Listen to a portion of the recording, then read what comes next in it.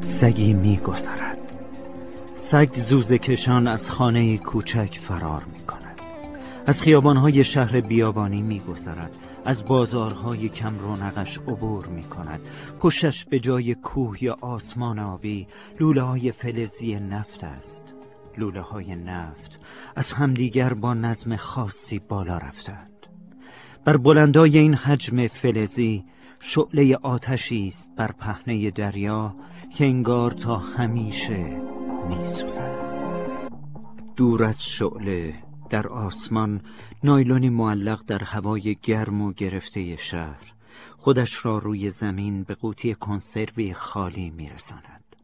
دستش را می‌گیرد بعد رها می کند و در آسمان گرفته گم می شود کنار کنسرو مردی با روپوش آبی پاره و چرک با دهانی باز افتاده است مگس بزرگی روی لبش نشسته یکی دیگر روی سپیدی چشمش از دور مرد آبی پوش شبیه تکی از یک شاخه در میدانگاهی بزرگ دیده می شود. در این میدان در مقابل شهرکی اتوبوسی در شرف حرکت است. قرار است ساکنین شهرک که همگی از مهندسها و کارمندهای عالی رتبه پالایشگاهند را از شهر بیمار دور کند. اتوبوس اما هنوز حرکت نکرده است. موتورش با آهنگی یک نواخت اوج می‌گیرد و سپس خاموش می شود. چند پیرزن و پیرمرد دو مهندس پالایشگاه به همراه خانواده هایشان در اتوبوس نشستند و زیر لب قرولند می کنند. پس چرا نمیریم؟ پس چرا نمیریم؟ راننده صورتش را با دستمالی کثیف پاک می کند. دو نفر هنوز نیومدن یه دقیقه یه دقیقه است کدوم دیمونه ای تو این شرایط دیر می‌کنه خب جاشون بذاریم راننده بیان که سرش را برگرداند دستش را بالا می‌برد و به ساعت مچیش اشاره می کند. هنوز پنج دقیقه مونده تا نو کسی دیر نکرده. نو حرکت می‌کنیم. ته اتوبوس یکی از زنها حوصلش سر رفته. از پنجره بیرون را نگاه می کند. میدان خالی است. اما از آن دور یک مرد و یک زن در حرم گرما می‌دوند اما انگار هرگز قصد رسیدن ندارند. تام سعی می کند با یک دست چمدان و با دست دیگر قفس پرنده ای را نگه دارد. در همان حال عرق پیشانیش را پاک کند. صدای اتوبوس رو میشنوی نلی؟ بعد جنس ها شرط میبندن می‌خوان ما رو جا بذارن. سب کنید. آهای سب کنید. در اتوبوس زن هنوز سرش را از روی شیشه بر نداشته است. ما منتظر این بازیگراییم. شوهرش با هیجان سرش را پشت شیشه می آورد کو به اینا میگی بازیگر. سیایی لشکرم نیستن. فکر کردم زودتر از این از شهر رفتن. بالاخره نلی خودش را به اتوبوس میرساند. شوهرم پشت سرمه. یه دقیقه وایسین. زن پوز خنده می‌زند. شوهر. نلی با خشم به او خیره می شود زن خودش را از تک و تا نمی اندازد فکر کنم دیگه تکمیل شدیم. نمیریم؟ راننده بیحوصله بدون اینکه جواب زن را بدهد از اتوبوس پیاده می شود پشت اتوبوس می رود به سمت نردبان مخصوص بار تا آن را بردارد اما درست قبل از آنکه کاری کند کارگری با لباس آبی و دود گرفته پالایشگاه از نردبان مخصوص بار بالا می رود. راننده گیج می شود اما بعد از چندی به خودش می آید و نردبان را تکان می دهد. بیا پایین با تو هم. این اتوبوس مخصوص شهرکی هست اتوبوس شما جداست بیا پایین. مرد آبی پوش با چشمهای از حدقه در آمده به تندی نفس می کشد. کل این شهر و یه شهرک. همه چی مال شهرکی هست پایین میای یا خودم میام بالا؟ تو تو تو تو اتوبوس منو به هم نشون بده میام پایین. هرچه راننده تلاش می کند مرد آبی پوش را پایین بیاورد موفق نمی شود. در اتوبوس همه صدای تقه های روی سقف را میشنوند. نلی از تام که همان لحظه سوار اتوبوس شده می‌پرسد چی شده تام؟ هیچ یکی از کارگرا رفته رو سقف هر کارشم می‌کنم پایین نمیاد ناگهان هم همه میان مسافران در می‌گیرد زن به بازوی شوهرش میچسبد. هر جا میریم این آبی پوشا ولمون نمی‌کنن شوهر زن هم از جایش بلند می شود تا از اتوبوس پیاده شود. اینا همشون مریضن. هر روز خدا بیرونن. با هزار نفر تماس دارن.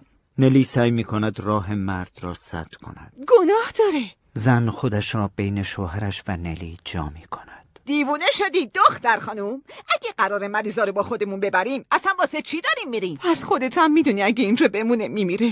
چه جوری سرتو می‌ذاری رو بالش رو خوابت می‌بره ها؟ من اصلا خواب ندارم دختر جون. پیرمردی که تا پیش از این مشغول خواندن کتابی بود با شنیدن بحث نلی و زن سر بلند می کند من, من, من حال شما رو درک می‌کنم دختر جوان. اما باید احتیاط کرد. اینا کارگر پالایشگاه هن. هر روز توی سالن بزرگ پر از جمعیت کار می‌کنن. با سرویس های چهار برابر ظرفیت به خونشون میرن. خب یه همچین آدمی معلومه که از شی و جان سالم به در نبره. به علاوه سه تا بچه هم همراهمونن. شما حاضرین به خاطر یه نفر بیست نفر رو مبتلا کنین. ولی اون بنده خدا روی سقفه. تو صورت ما که نیست. اتفاقا وسایل منم روی سقفه. چمدونم ویروسی میشه. اگه در چمدونت بسته نیست ویروس چطوری می‌تونن برن تو چمدونت ها؟ نلی خشمگین از اتوبوس پیاده می شود بازوی راننده را می گیرد آقا خواهش می‌کنم لطفا. تام سرش را از پنجره اتوبوس بیرون می آورد نلی تو دخالت نکن. می‌خوای مسافرای اتوبوس بریزن رو سرمون؟ بس کنید آقا. من از هیچ کس دستور نمی‌گیرم. خواهش می‌کنم آقا. راننده نردبان را به پیاده رو پرت می کند را میافتی. کشتی در اسکله پهلو گرفته است. مردانی با روپوش آبی در هر سن و نژادی در رفت آمدند و بشکه های آبی نفت را بر دوش می کشند. شبیه جماعتی مورچه یک مراقب با کت و شلوار کتانی سفید ایستاده و حرکت مورچهوار این جماعت را نظارت می کند. در این بین مردی است بدون روپوش اما با لباسی مندرس که شلوول در بندر تلو تلو می. مراقب نگاهش روی او دقیق می شود. با تو هستم تنبل کی گفت بدون روپوش بیای سر کار مرد نگاهش نمی کند. بر نمی گردد و راهش را می رود. مراقب بازویش را می گیرد. با تو هم یه دستی به این بشکه برسون مرد بر می گردد. ریشش را نتراشیده. با چشمهای پر از تشویش ظاهری مبهم و شرارت بار به مراقب خیره می شود. برای شما کار نمی‌کنم جورج تویی؟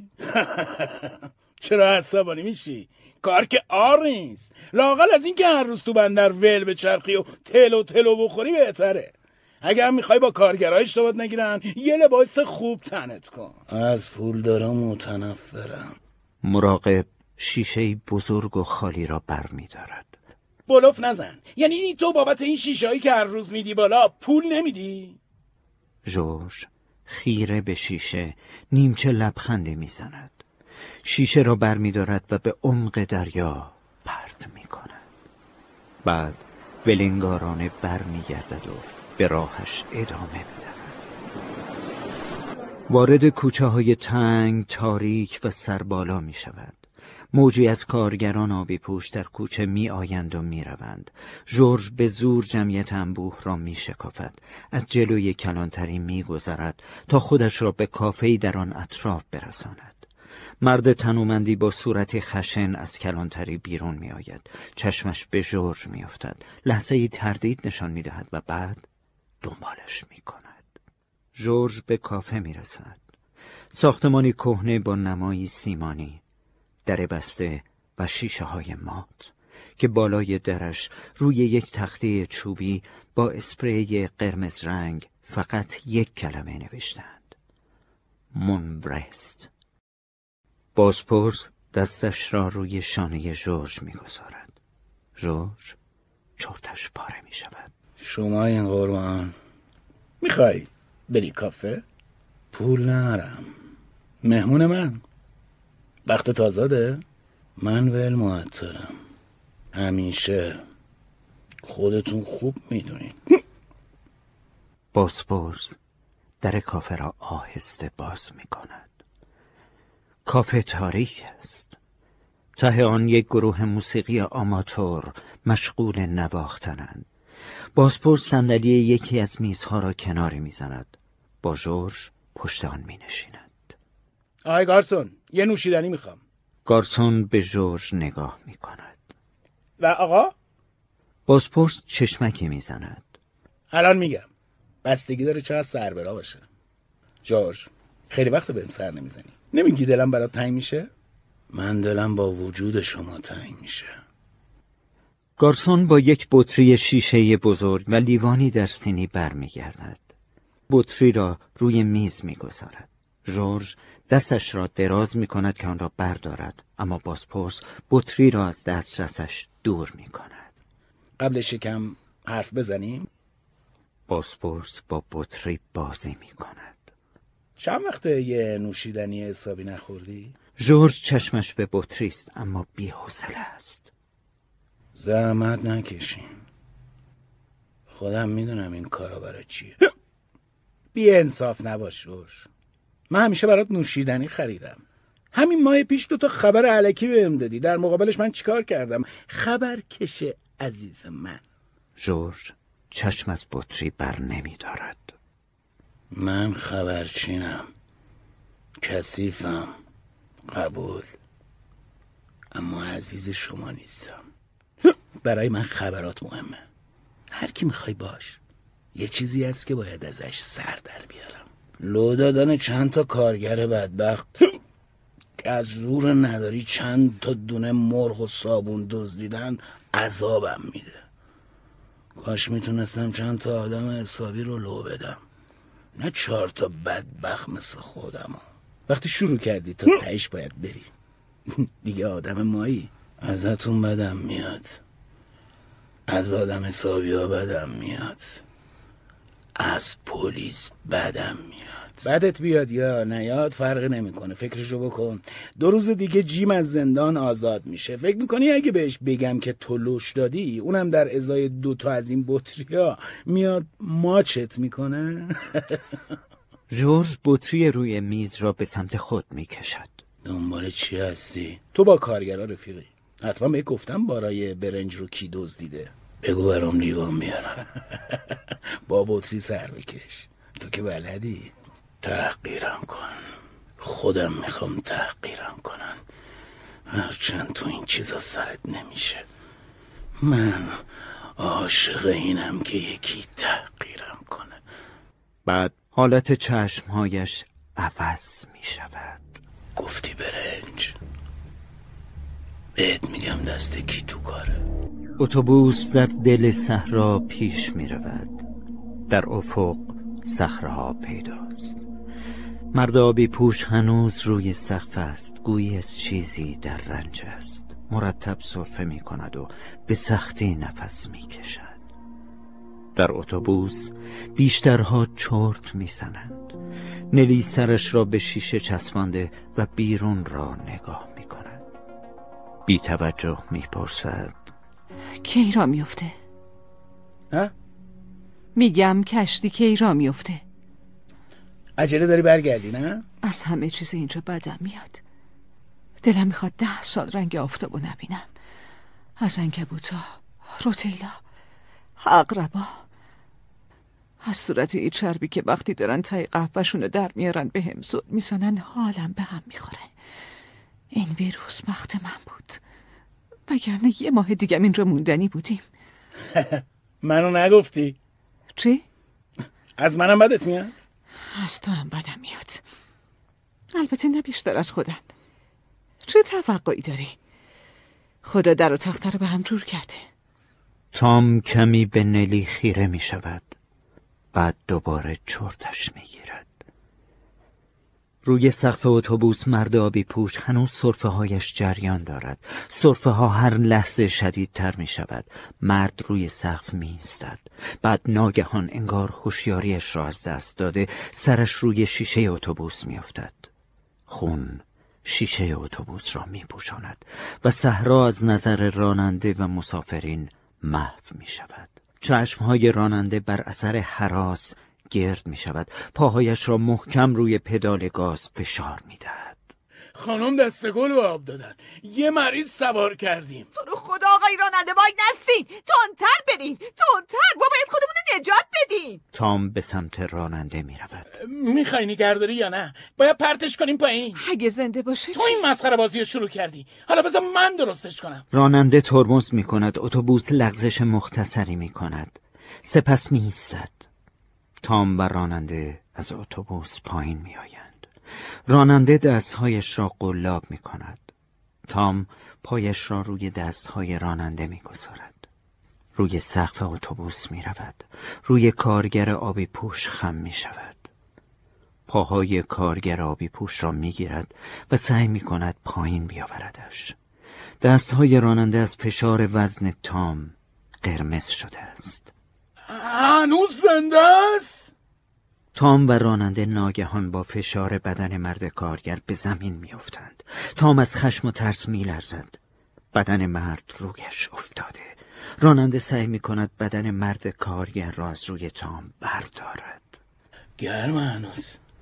تام نفسش جا می آید بعد لباسهایش را با وسواس می تکاند هر دو بالای سر بدن مرد کارگر میستند میگی مرده؟ شایدم واقعا مرده.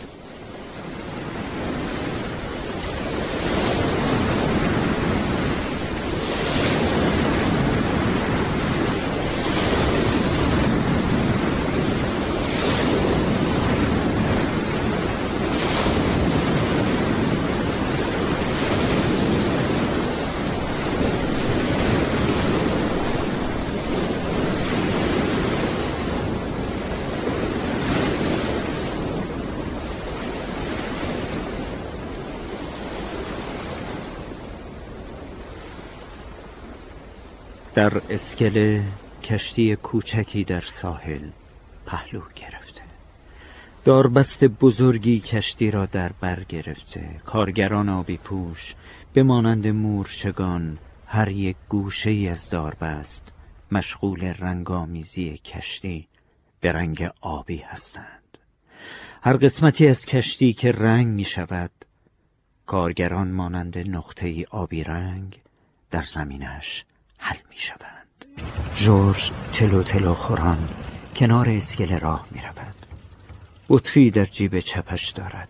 انگار وزن بطری آنقدر زیاد است که او را به سمت چپ کچ کرده. چیزی نمانده به آب بیفتد اما خودش را جمع می کند. لب اسکله می نشیند. خم می شود. به تصویر جولیده خودش در آب خیره می شود. بطری را از جیبش بیرون می آورد. در چوب پنبه ایش را با سختی می‌گذارد و به امواج می سپارد بطری در میان امواج با صدای کارگران می آن طرف ساحل بچه ها مشغول بازی هستند. نگاهشان به جورج میافتد. یکی از بچه ها سنگی را روانه صورت جورج می کند بقیه بچه ها از او تقلید می کنند سنگ ها به صورت جورج می‌خورند. خون از روی بینی و کناری چشم ها جاری می شود. کودکان آواز خان می روند. جورج تنها می ماند. لختی به دریا خیره می شود و بعد تلو تلو خوران اسکله را ترک می کند. در دست پالایشگاه مثل شیعی ابدی همه اطراف را پوشانده است. جورج می رود تا به حلبی آبادی خارج از شهر برسد. خانه ها یک سر با نخاله های فلزی پالایشگاه و قوطی های حلبی بنزین ساخته شده. سخفی حلبیان را پوشانده است. جورج به سمت یکی از خانه های حلبی می رود آهای! پرده کهنه جلوی در کنار می رود مردی با روپوش آبی آشکار می شود پرسشگرانه به جورج نگاه می کند برنج و گم کن بزن به چاک. الانه که پلیس سر برسه. زیاد نخوردی؟ زیاد خوردم اما حرفم رو باور کن. غروب است.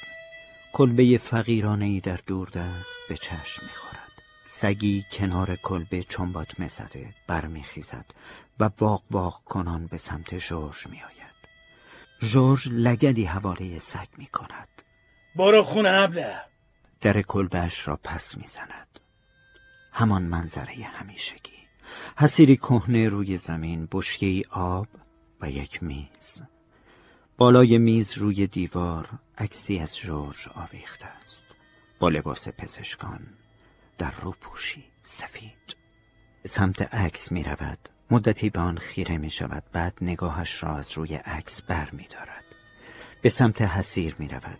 خودش را روی آن می اندازد. کمی تکان می خورد و بعد خورخورش راه می افتد. اتوبوس مقابل بیمارستان می ایستد بیست نفر آنجا ایستادند. با ایستادن اتوبوس به سمت آن هجوم می آورند راننده از اتوبوس پیاده می شود عقب همه باید تست بدن. پرستاری که مقابل بیمارستان ایستاده به سمت راننده می رود کسی هم علائم داره؟ یکی تب داره بقیه رو نمی‌دونم. مسافرها پایین میآیند با قدمهایی بی اراده راه می روند. منتظران دور ایستادند سعی می کنند از همان دور با عزیزانشان گفتگو کنند. نلی و تام از اتوبوس پیاده می شوند تام به نلی تکیه داده. صورتش از تب برافروخته اما قفس دستش است. یک پرستار مرد به سمت تام می آید بزوی تام را می گیرد و به نلی می گوید در خانما اون طرفه. نلی به تام نگاه می کند خداحافظ تام تام بدون اینکه به نلی نگاه کند وزنش را روی دوش پرستار می اندازد خوششانسی هیچی نیست نلی غمگین به سمت لابی بیمارستان می رود. چند زن مسن توی لابی نشستند. از پنجره اسکله پیداست. کشتی در حال حرکت است. پل را عقب می کشند. انبوه مردم در اسکله برای مسافران دست تکان می دهند. نلی کنار شیشه اشک می ریزد. تموم شد رفت. پرستاری که متوجه حالت نلی شده به او نزدیک می شود. دستش را روی شانهش می گذارد. هیچی نیست. از قیافت معلومه. با کشتی بعدی میری. نلی اشکهایش را پاک می کند. کی می‌تونم برم؟ پرستار نلی را به سمت اتاقش راهنمایی می کند. اتاق کوچک، تخت و وسایلی محقر. یکی دو روز اینجا میمونی تا جواب تستت بیاد نلی وارد اتاق می شود روی ملافه کهنه دست می کشد دیگه رنگ خونمو نمی بینم پرستار به سمت پنجره می رود پنجره را باز می کند هوای تازه خودش را تو می کشد این فکر را نکن. نزا فکر اینا جور تو رو با خودش ببره. چند وقت دیگه خونه ای پرستار به سمت تخت می آید بهش فکر نکن.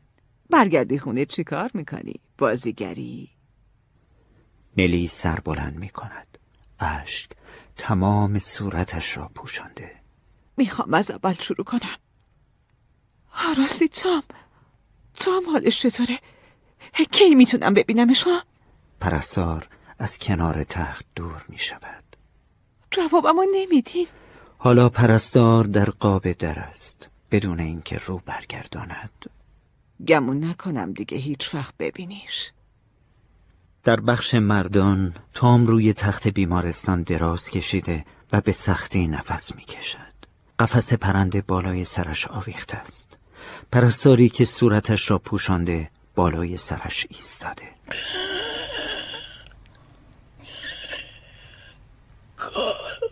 کارم تمومه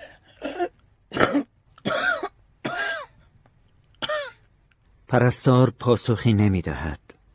کپسول اکسیژن را از گوشه اتاق می آورد. تام با اشاره از پرستار می خواهد که قفس پرنده را به او بدهد. پرستار کپسول را رها می کند. قفس را به تام می دهد.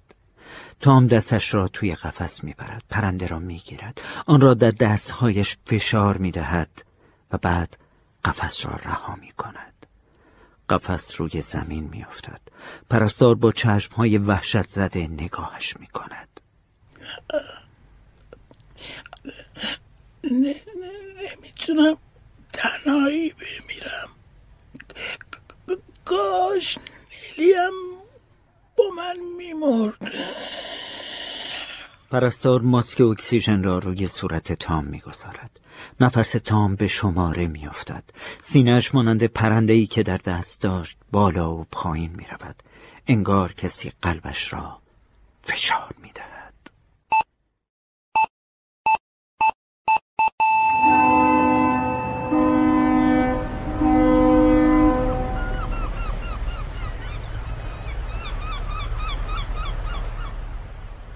نلی توی اتاق نشسته است. بی حرکت مانند مجسمه. از پنجره بیرون را نگاه می کند. کشتی دیگری در اسکله پهلو گرفته اما انگار هنوز خیال حرکت ندارد. در اتاق باز می شود. پرستار در قاب در ظاهر می شود. جواب تستت اومد منفیه. برو وسایلت تحویل بگیر. کشتی یه ساعت دیگه میره. نلی نمی‌فهمد کی از جایش بلند می شود کی در اتاق را باز می کند کی از اتاق خارج می شود کی به سمت باجه تحویل وسایل می رود چشم که باز می کند کنار باجه تحویل وسایل ایستاده است. قفس تام روی باجه است. خالی است. نلی به سمت قفس می رود به کندی آن را لمس می کند دستش را روی میله ها سر می دهد انگار دارد قفس را نوازش می کند تام مرد؟ کارمند پشت باجه ناگهان حواسش جمع می شود صاحب این قفس؟ ساعت پنج مرد. صبح. عضلات صورت نلی جمع می شوند همه چیز در صورتش منقبض می شود برنده چی؟ کشتش. نمی‌خواست تنها بمیره. بغز گلوی نلی را فشار می دهد چیزی نگفت؟ قبل مرگ که به من بگی؟ نه خانم. چیزی نذاشت؟ کارمند چمدان نلی را روی میز می‌گذارد. نه خانم. نگاه کنید. نگاه کنید برای چیزی کم و کس نباشه. نلی چمدان را می‌گیرد. مردد است. من می‌تونم قفس رو ببرم؟ نه خانم. نلی چمدان را بر می دارد. بدنش بر اثر سنگینی چمدان به یک سمت کج شده. از زر بیمارستان خارج می شود هاج و واج و پریشان است. مانند عروسکی کوکی به سمت کشتی می رود نرسیده به کشتی می ایستد چمدان را زمین می گذارد کیفش را می گردد از آن دو اسکناس و یک سکه در می آورد چهرش نامید است. پشت سرش رهگذران در حرکتند. آمبولانسی آژیر کشان به سرعت به سمتش می آید نلی خودش را به پیاده رو پرت می کند آمبولانس می ایستد درهای عقب آن باز می شوند دو مرد برانکاری را بیرون می آورند روی برانکار مردی با روپوش آبی دراز کشیده است.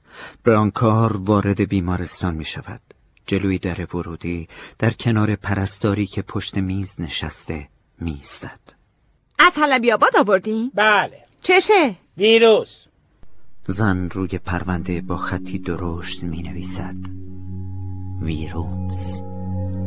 لی در شیشه بیمارستان را باز می کند در راه رو دنبال اتاق مدیر می گردد مدیر مرد چاقی است با موی سفید. نلی با حالتی عصبی نزد او می رود قرار بود از اینجا بریم. دوتایی پولا پیش اون بود. حالا میگن چیزی برام نذاشته. مدیر با نگاهی سرد نلی را برانداز می کند مدرک داری؟ هیچی. متاسفم.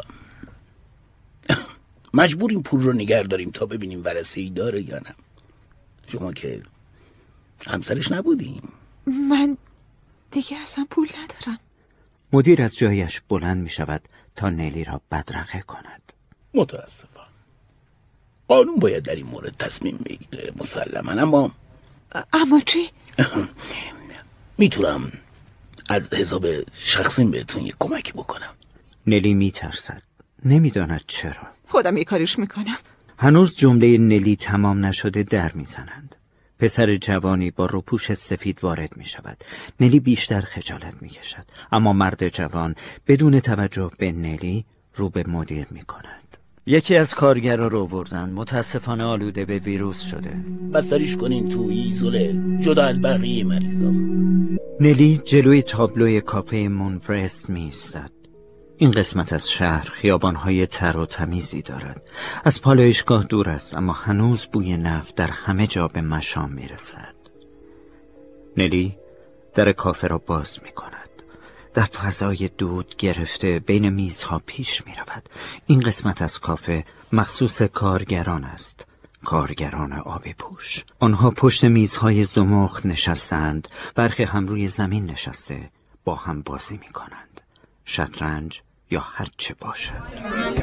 نلی پیش می رود و به نرده چوبی بزرگی می رسد که بخش کارگران را از شهرکی ها جدا می کند کنار نرده می استد. نگاهش آن طرف نرده را می کاود که روشنتر است. با کتابخان همه جا. آن طرف از ازدهام خبری نیست. دو مرد موتلایی خشک و شق و رق نشستند و قهوه می نوشند بی هیچ حرفی. پشت میز مرد مسن بلند و چهارشانه ای نشسته است. با خودش شطرنج بازی می کند ارباب مرکاتیه کی میخوایی دست از این قربتی ها برداری؟ ارباب مرکوتیو کوتاه خپل تاس لنگان لنگان از میان میزها خودش را رد می کند و به مرد شطرنج باز نزدیک می شود ناگارو من چی کار کنم؟ یه گارسونه با کلاس می‌خوان ارباب مرکوتیو صندلی مقابل نوگارو را عقب می کشد و می نشیند از کجا بیارم؟ از وقتی ویروس اومده همه در میرن. ارباب خودش را روی صندلی جابجا می کند تا راحت تر بنشیند. چه خبر از ویروس؟ انگار تو بیمارستان یه مورد دیده شده اما مورد جدید اعلام نکردن. گمونم جلوشو گرفتن. ارباب باز جابجا می شود این بار از سر استراب بایدم جلوشو بگیرن وگرنه در اینجا رو تخته می‌کنم. نوگارو با فیلش مهره وزیر را می‌زند. ارباب تازه حواسش به صفحه شطرنج میافتد. نوگارو لبخندی پیروزمندانه می‌زند با ویروس هم میشه کاسبی رو انداخت.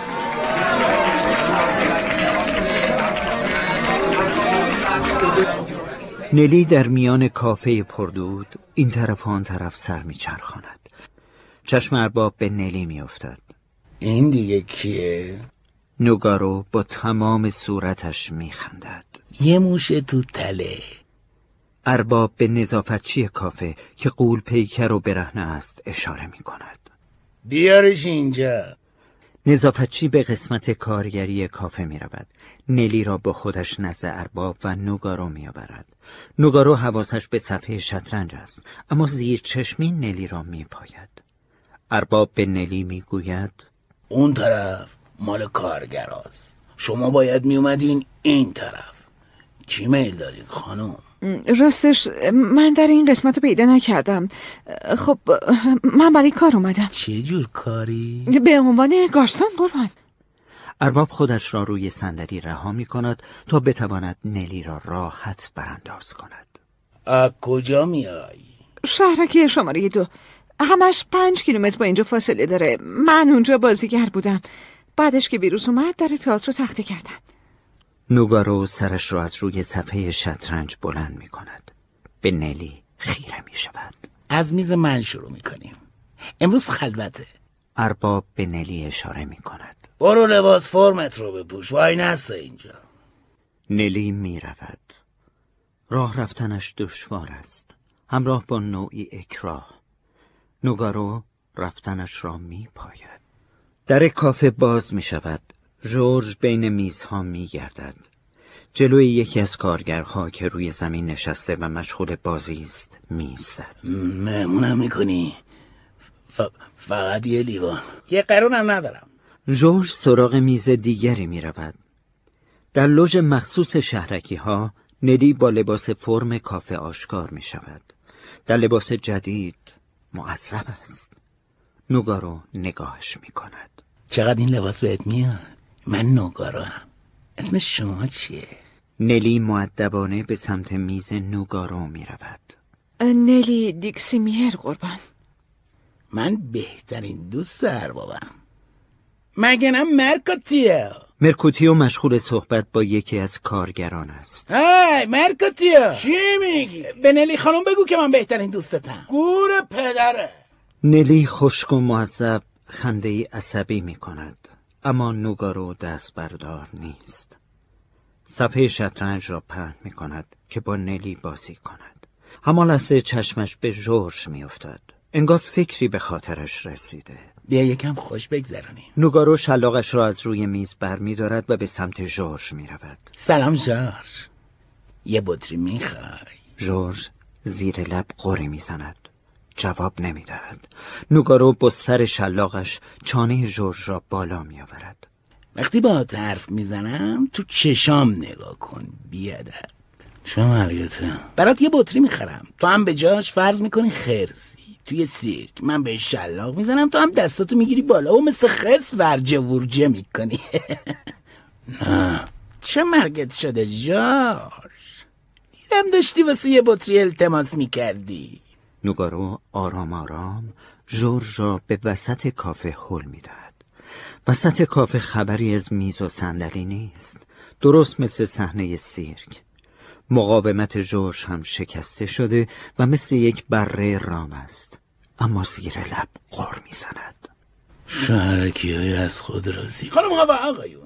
مدیر منورست که عاشق مشتریاشه منو مأمور کرده که براتون یه برنامه استثنایی ترتیب بدم. رقص خرس. لطفا سر جاتون بشینین و ما رو همراهی کنین. جورج سردرگم و کمی خجالت زده است. آبی پوش ها سیگار به لب. نگاهی تمسخرآمیز به جورج دارند و یا شاید او این گونه خیال می کند با علامت دست نوگارو موسیقی آغاز می شود جورج با ضربه های شلاق مانند حیوانی سرمست بالا و پایین می پرد دستهایش را جلوی صورتش گرفته و زوزه می کشد حدقه های چشمش تقریبا سفیدند و چهرش اندوه بار در میان دود صورتهای عرق کرده ای را می بیند که با لبخندی کج او را نگاه می کنند احساس می کند کافه دور سرش می چرخد لبخندها تبدیل می شود به خندیدن. خنده های بلند.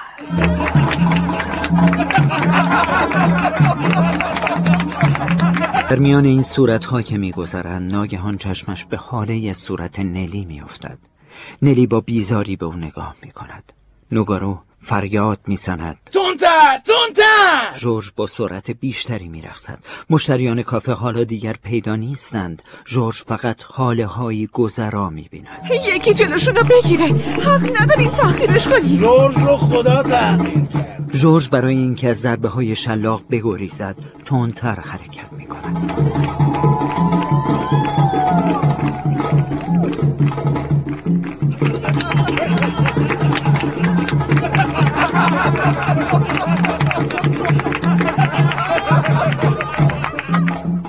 یک چرخش دیگر. دوباره صورت نلی. جورج ناگهان میستد نوگارو هر بار که شلاق می‌زند به پای جورج می‌خورد اما انگار بیحس است. فقط نگاهش به نلی است. بعد آرام آرام به سمت نلی پیش می‌رود. نلی تکان نمی‌خورد. خانم منو دیدین نه. مثل یه حیوان سیرک سرگرمتون کردم.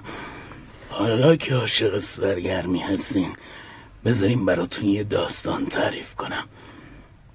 در مورد کشتی های پاروزنیه. زندان های شناور.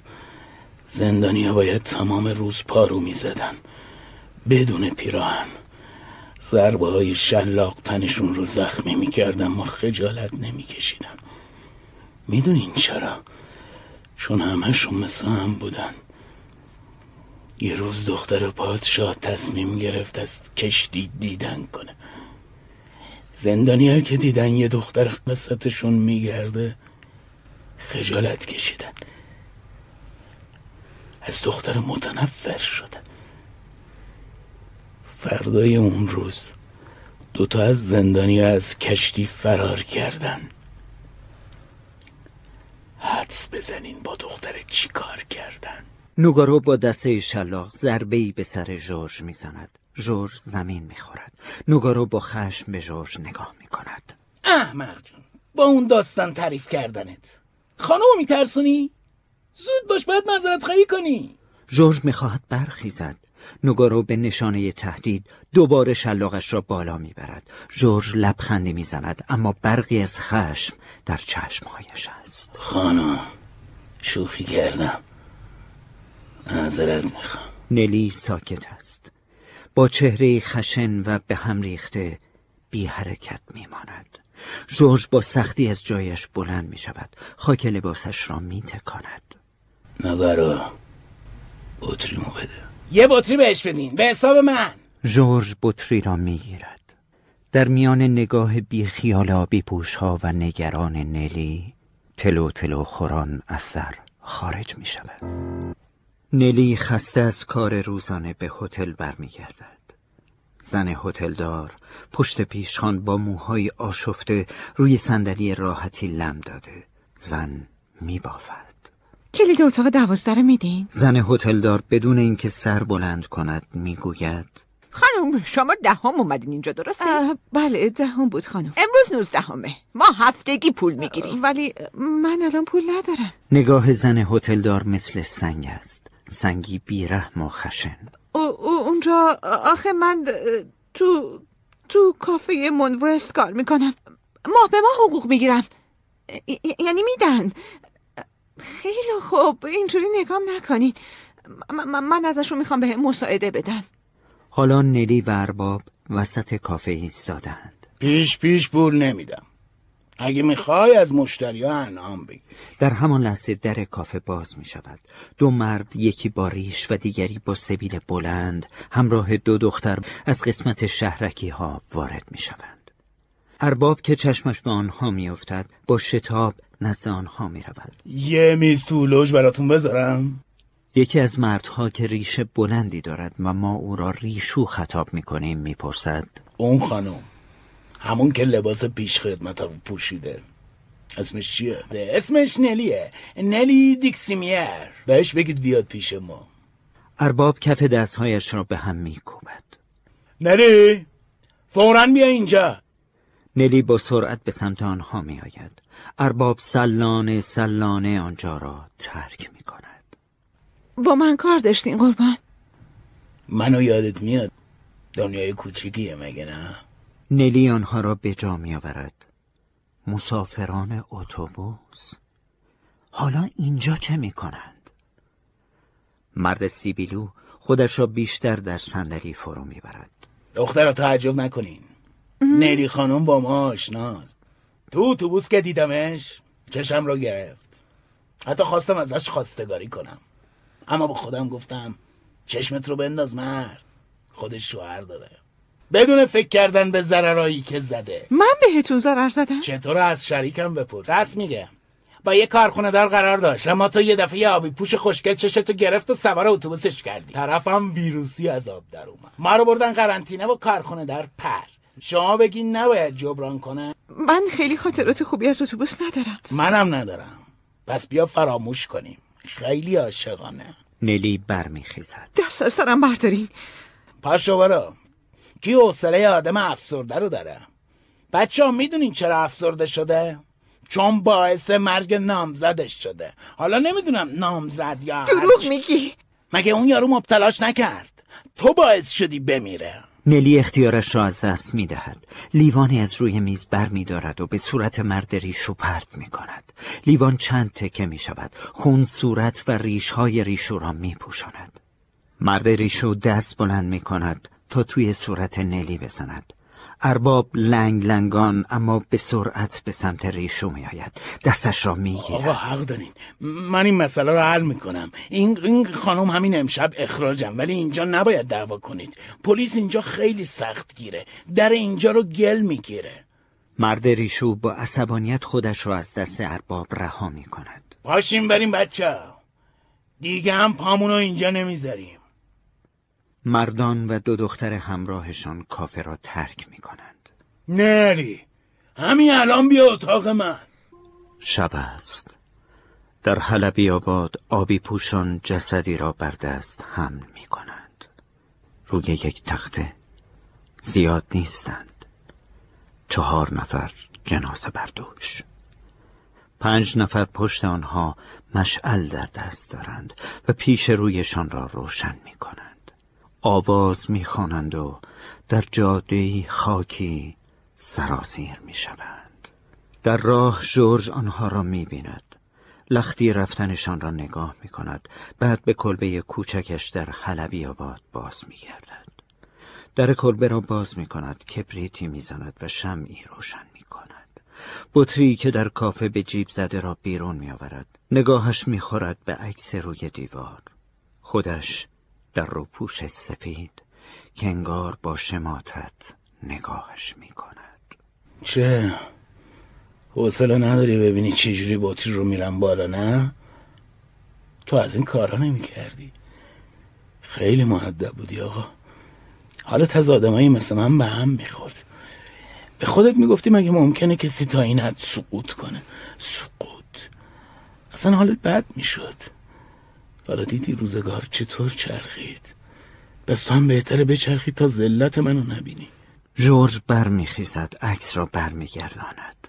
بعد روی حسیر کف اتاق ولو می شود و محتویات بطری را آرام و با سر و صدا سر می کشد نلی در رختکن کافه ایستاده است. چراغ رومیزی کوچکی اتاق را روشن کرده. می‌خواهد پیشبندش را باز کند. تقی به در می‌زنند بعد ارباب بدون مکس وارد می شود بزن به چاک. دیگه ریختت هم نبینم. گوش کنین ارباب اون به هم توهین کرد. خب که چی؟ فکر کردی گارسون قطعه؟ من برای همین استخدامت کردم. باشه میرم. فقط فقط چی؟ من یه هفته اینجا کار کردم. کار کردی؟ ها؟ به خاطر احمق بازی تو مشتری پول میزش رو نداد. حساب میزش دو برابر دستمزد توه. برو خدا رو شکر کن که ازت پول نمی‌گیرم. باید از خودشون می‌گرفتی ارباب در رختکن را باز می کند. با پای خودت میری یا با لگت بیرونت کنم؟ چون یه زن تنها با هم اینجوری حرف می‌زنین اگه یه مرد کنارم بود جرأت نداشتین. چون میترسیدین بیاد و گوشمالیتون بده. اما من یه زن مستقلم. تو چشماتون نگاه می‌کنم و بهتون میگم که چه آدم کثیفی هستین. ارباب با تمام قدرتش توی گوش نلی می‌زند. نلی لحظه ای میستد طی چند ثانیه تصمیمش را می‌گیرد و چراغ کوچک روی میز را توی سر ارباب میکوبد. ارباب روی زمین میافتد چراغ میشکند و همه جا تاریک می‌شود. تنها باریکه نوری است که بیرون اتاق دیده می‌شود.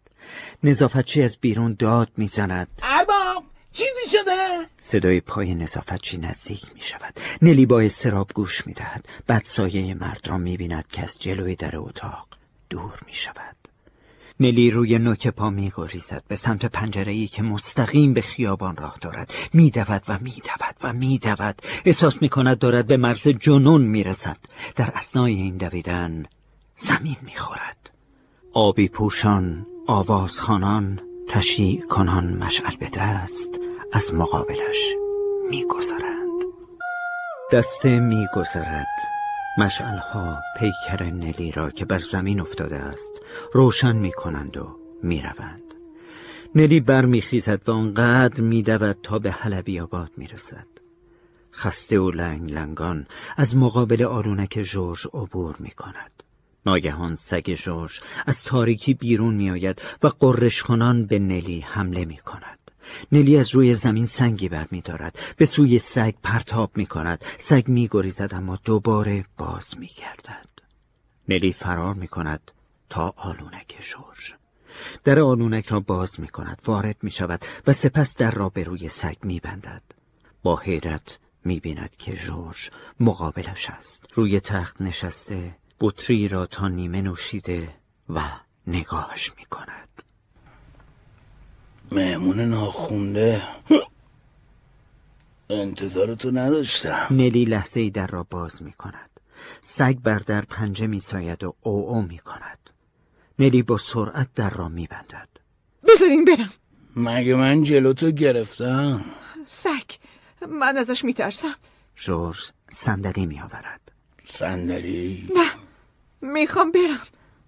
جورج خودش روی صندلی می نشیند و بطری را از روی میز بر می دارد. یکم نوشیدنی چی؟ نه. دختر پادشاه یادته. یادم نرفته. شما فقط باید این جلوی زن و الدورم بلدورم کنین پیش گفتم مردم. دوتا زندونی چه بلایی سرش آوردن نه. قبلش کتک خوردین خب حالا بهتون میگم. جورج دست دراز می کند تا بطری را از روی میز بردارد نلیان را در دست می گیرد لازمش نداری جورج به دست نلی نگاه می کند کسی رو کشتی؟ خب که چی؟ می‌دونی شغلم چیه؟ وقاس سیرک خبرچین پلیس خب که چی؟ امشب کافه بودی دو ساعت بعد با دست و صورت خونی خارج از شهر وقت نکردی برگردی هتل. حتی پیشبند کافرم باز نکردی. پس هر کاری کردی مون ورست بوده. یا نگارا رو زدی یا ارباب رو. البته نگارو خیلی قویه مگه. شما چیزی می‌دونین؟ با ارباب درگیر شدی درسته؟ شما خودتون شمه پلیسی دارین. چرا از من می‌پرسین؟ منو لو بدین و جایستون رو بگیرین. جورج بلند می شود تا بطری را بردارد. اون شب شما به من خندیدین. حالا وقتش من به شما بخندم. نلی بطری را می شکند مایه راه می کشد و روی زمین روان می شود جورج به دستهای نلی نگاه می کند برو دستاتو بشور. دیگه چه فایده داره؟ حتما حسابی از خودت رد گذشتی خونه رو دیوار. اثر انگوش کجا زدیش؟ تو رخکن جورج شانه های نلی را می‌گیرد. کشان کشان او را تا بشکه آب می‌برد. مانند بچه دستهایش را می‌شوید. بعد سرش را توی آب می‌برد. سپس با قاب دستمال کهنه صورتش را خشک می‌کند. جورج می‌گوید برگرد هتل. من خودم میرم مومرست همه چی رو ردیف می‌کنم. مگه خبرچی نیستی؟ پولتو بگیر و کارتو بکن. مگه من ازت چیزی خواستم؟ دقیقا و همین دلیل که چیزی نخواستی. مدیون یه بزدل خبرچین دائم الخم بودن خیلی هم سخت نیست. برو هتل راحت بگیر بخواب. خداحافظ. هی! و سگ چی؟ سگ با خودم می‌برم. جورج در را میبندد. نلی به خودش میآید. انگار هرچه بود خواب بود. به دوروبر نگاه می‌کند. کشوهای میز را باز می‌کند خالیاند به عکس روی دیوار نگاه می‌کند که پشتش پیداست. عکس را برمیگرداند. لحظه ای جورج را در روپوش پزشکی نگاه می‌کند. شمی که اتاق را روشن کرده فوت می‌کند و تاریکی. جورج خودش را به منورست میرساند. پنجره منتهی به راه رو هنوز باز است. راه رو در تاریکی فرو رفته. جورج بی سر و صدا وارد می شود. کبریتی روشن می کند. با نورش خودش را تا در رختکن می رساند. در باز مانده. کبریتی دیگر. چراغی شکسته روی فرش و خبری از جسد نیست. جورج سردرگم اطراف را می پاید. بر می گردد. از راه رو به سالن سرک می کشد. ارباب تنها روی یکی از میزهای کافه نشسته. سرش بان پیچی است انگار غمگین است. جورج در تاریکی و سکوت میخندد. صبح روز بعد در ساختمان فرمانداری فرماندار مدیر بیمارستان دکتر تامس رئیس پلیس و دو نفر از معتمدان شهر دور میزی نشستند. فرماندار بدون معطلی می‌گوید همتون می‌دونین اوضاع چقدر خرابه. آقای مدیر تا حالا چند تا مراجعه کننده داشتیم تا حالا صد نفر. ولی جناب فرماندار شما خودتون بهتر از من می‌دونین که کارگرای پالایشگاه از این که ما درمانشون کنیم متنفرن. قطعا تعدادشون خیلی بیشتره. تو حلبی آباد محله باراندازا سه برابر این عدد مریض هست. رئیس پلیس ماسکش را پایین میآورد. امروز خبر یه مرگ مشکوک رو بهم دادن تو حلبی آباد دیشب خاکش کردن. مخفیانه بدون حفظ پروتکل ها و با نور مشعل.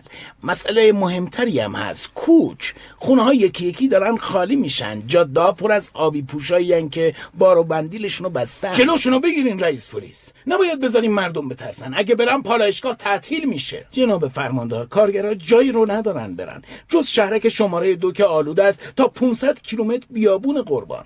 فرماندار از دکتر تامس می‌پرسد. از شهرک کسی مبتلا نشده دکتر؟ هنوز خیر جناب فرماندار. خیلی خوب. ظرف 48 ساعت باید به همه کارگرا واکسن بزنیم. واکسن به اندازه کافی داریم دکتر تامس؟ زیاد نه. راستش سیستم بهداشت سراسری بر اساس رنگبندی شهرها عمل می‌کنه. اوایل ماه گذشته بیشترش رو دادن به شهرک شماره دو. البته این تعداد که داریم تقریبا کافیه. اما باید سخت گیر باشیم. چون برای هر کدوم از کارگرای پالایشگاه فقط یه واکسن داریم. یعنی اگه شهرکی ها بخوان مثل چیزای دیگه دلیلی نداره دکتر تامس. تو شهرک کسی مبتلا نیست. تازه اونا با کسی در تماس نیستن. تو خونشون نشستن و از راه دور کار می‌کنن. اگه منطقی باشه یه مشکل دیگه هم هست. دیگه چیه دکتر؟ کارگرا رو باید راضی کنیم واکسن راضی کنیم؟ دو سال این شکلی زندگی کردن قربان. ضعیفاشون مردن قویا زنده موندن. بعضیاشون از ترس ویروس رو انکار می‌کنن. از واکسن هم میترسن. یه عالم ویدیو و تبلیغ هست. اگه واکسن بزنین میمیرین یا فلج میشین یا هنوز آزمایش این واکسن ها تموم نشده یا شما موش آزمایشگاهی هستین یا فلان گیاه رو اگه مصرف کنین خوب میشین یا حتی مواد مخدر. خیلی خوب خیلی خوب. فهمیدم دکتر. یکی از معتمدان شهر میستد به نظرم باید بهشون به زور واکسن بزنیم. از کجا می‌فهمیم که قبلا واکسن زدن یا نه؟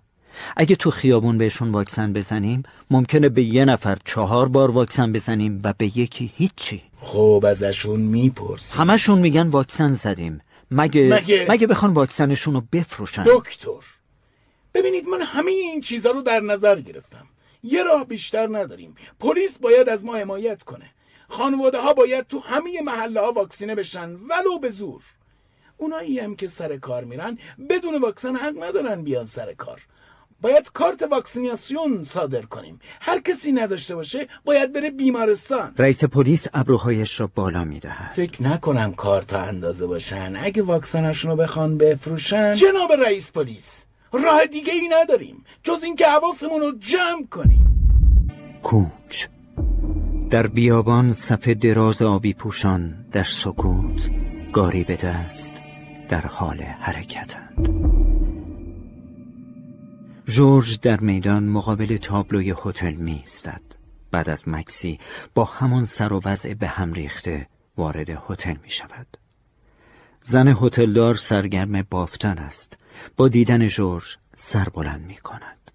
چی می‌خوای؟ با خانم نلی کار دارم تو نیا ممکنه با خودت ویروس بیاری می‌خوام باش حرف بزنم همینجا وایسا زن هتلدار به سختی برمیخیزد. به حیات می رود.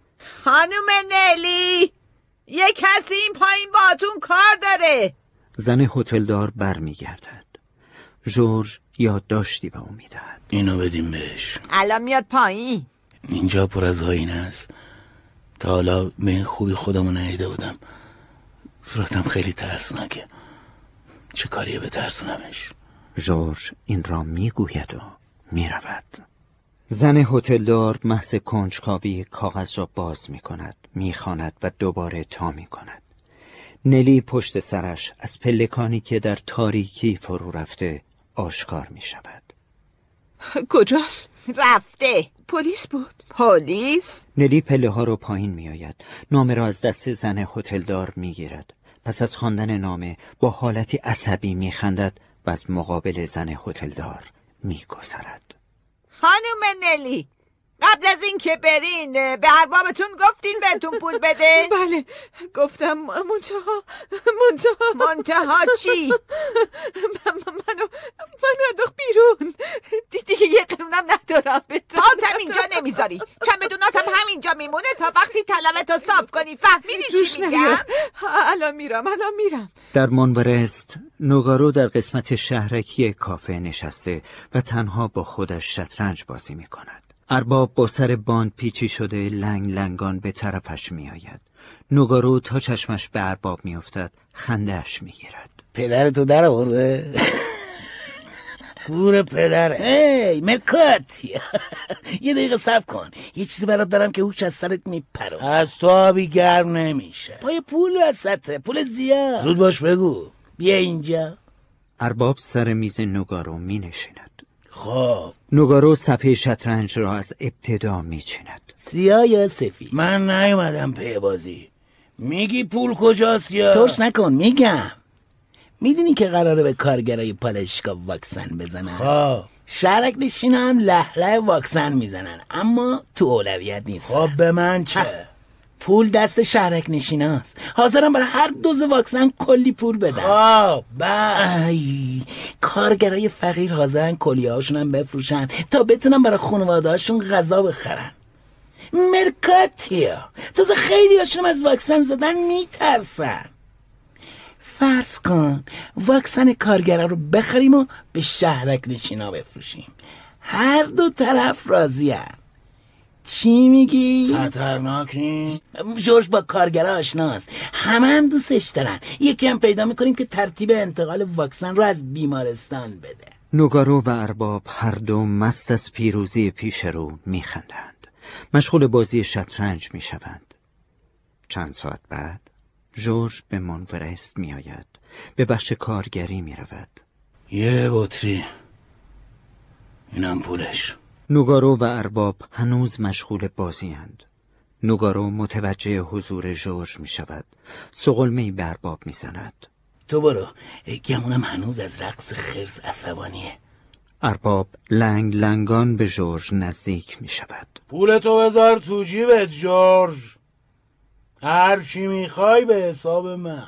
دریا آرام است. خورشید وسط آسمان است آبی پوشان روی کشتی ها مشغول کارند و بارها را جابجا می کنند. اینجا انگار کسی خبری از بیماری ندارد. جز چند شهرکی نشین که بلیت به دست سوار بر کشتی می شوند. نلی به سمت ساختمانی سیمانی می رود. روی در شیشه آن نوشته بنابر دستور فرمانداری و به دلیل شیوع بیماری بلیت نداریم. لطفا سوال نفرمایید. با این حال نلی در را باز می کند. وارد می شود. همه باجه ها تعطیل است. تنها مردی آنجا نشسته و مشغول حل کردن جدول است. برگه رو در رو خوندین خانم؟ بله من حتما باید برم. فعلا تعطیله. تا کی؟ نمی‌دونم. آخه من اهل اینجا نیستم. اگه نرم از گشنگی میمیرم. بهتره یه کار جور کنیم. اینجا؟ انگار اینجا بیشتر کارا مال مرداست جز یه کافه که اسمش مونورست. من همین دیروز از مونبر استخراج شدم. متاسفم خانم. اینه که دارن میرن چطوری میرن؟ نمی‌دونم خانم. دستشون بلیت بود. البته خانم. پس من چیکار کنم؟ نمی‌دونم خانم. برید دنبال کار. مرد دوباره سرش را به حل جدول گرم می کند نلی غمگین و حیران از در آژانس خارج می شود به کشتی خیره می شود که ساحل را ترک می کند بعد آرام آرام از ساحل دور می شود. می رود و می رود. هاج و واج در خیابان می گردد. همه جا پر از آبی پوشانی است که با تمام دارایشان شهر را ترک می کنند. میان جمعیت می رود. چهار زن با هم تند حرف می زنند. نلی نمی‌فهمد چه می‌گویند یکی مقابلش می آید. با تشنج شانه هایش تکان می خورد. پسرم مریض خانم ویروس گرفته باید براش دارو بخره. نلی می لرزد تمام کیفش را زیر و رو می کند فقط یک مشت پول خورد دارد. من همینو دارم. زن سکه ها را می گیرد و در میان جمعیت گم می شود نلی نمی‌داند آیا زن داستان پسرش را برای کس دیگری تعریف خواهد کرد. بقیه در جیبهایشان چقدر سکه دارند؟ چرا این مرض هرچه می رود تمام نمی شود می آید خیابان منورست است. تابلوی کافه خود نمایی می کند نلی لحظه ای تردید می کند بعد وارد می شود نوگارو و ارباب در قسمت شهرکی ها نشستند و شطرنج بازی می کنند جورج در بخش کارگری می نوشد نلی را که می بیند می خواهد برخیزد اما اما نمی تواند چشم ارباب به نلی می افتد از خشم و حیرت لال می شود نلی مقابلش می ایستد ارباب من من باید برگردم. من نمی‌خوام اینجا بمیرم. من معذرت می‌خوام. میشه میشه دوباره استخدامم کنی.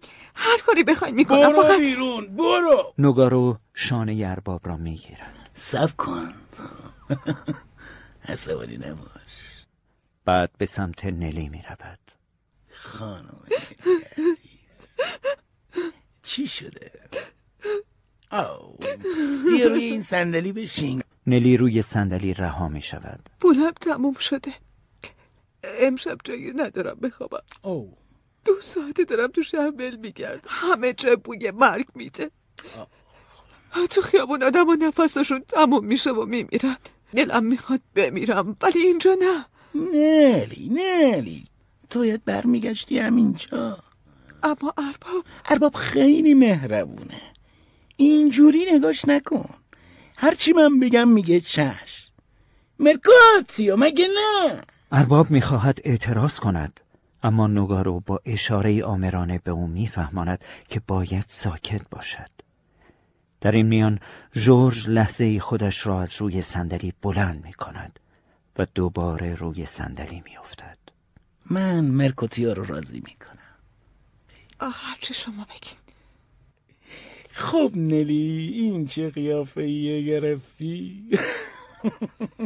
تا وقتی محدودیت رو بردارن تو هم اونقدر پول جمع کردی که از این خراب شده خلاص بشی. من بر نمیگردم. پس کی برمیگرده؟ من دیگه به آخر خط رسیدم. جورج ناگهان به خودش می آید. نلی کنار نوگارو نشسته هوشیار می شود با خشم در بخش شهرکی کافه را باز می کند مقابل نلی می ایستد از خشم می لرزد نلی تو تو کسیفی نلی نوگارو را کنار می‌زند. توی چشمهای جورج زل می‌زند. به تو چه؟ برو مثل خرس بچه ووچه کنه شلاق بخور. تو تو تو تو سقوط کردی. خیلی بیشتر از من. راضی شدی؟ حساب بی حساب. جورج بازوی نلی را می‌گیرد من اجازه نمیدم. نوگارو برمیخیزد. شلاقش را از روی میز برمیدارد. ای جورج چه خبرته؟ از دنده چپ بلند شدی؟ زود باش از خانم معذرت خواهی کن. نوگارو شلاقش را بالا می‌برد تا به صورت جورج بزند. جورج شلاق را از دستش بیرون می‌کشد و با مشتی محکم نقش زمینش می‌کند. ارباب از فرط خنده سرخ می‌شود. بریم نلی. چی؟ خیال کردی ازت میترسم؟ نکنه فکر کردی بهت بدهکارم. بهتره تکلیفم رو روشن کنم. برو. همراست میام. در آلونک جورج هر دو ایستادند نلی جورج را برانداز می‌کند خب نمی‌ذارم با نوگارو بری نمی‌ذاری چطوری؟ اصلا تو چی کار به کار من داری ها؟ با هم یه خورده حسابی داریم یادت چقدر مغرور به ورج ورجه من وسط کافه نگاه می‌کردی؟ یادت به هم می‌گفتی ایوون سیرک؟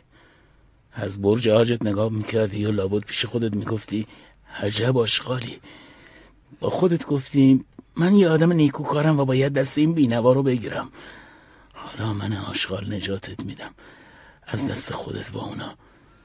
می‌خوام هر وقت یاد ورج ورجه من وسط کافه افتادی با خودت بگی. همین حیوان سیرک نجاتم داد. دیگه هیچ وقت نمی‌تونی تحقیرم کنی. لابد. انتظار داری ازت تشکر کنم ها؟ ازم متنفر باش. ولی تحقیرم نکن. چه مرگت تو؟ تو می‌تونی برام کار جور کنی؟ خراب کردی احمق جون. نگارو کثیفه می‌دونم. ولی از این بدترم میشه. کنار خیابون. خودم بهت پول میدم. نداری که بدی. جور می‌کنم. لابد با گدایی. ترجیح میدم هر کاری کنم جز این که از تو پول بگیرم. من نمی‌ذارم. نمی‌ذارم با نوگارو بری. در ناگهان باز می شود یک ستوان با دو سرباز وارد می شوند با این زن چیکار داری؟